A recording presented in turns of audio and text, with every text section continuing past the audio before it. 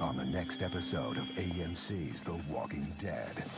whole world is haunted now. We are who we are.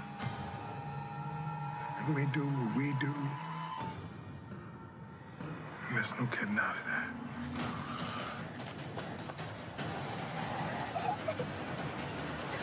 Not until we're dead. For more video, go to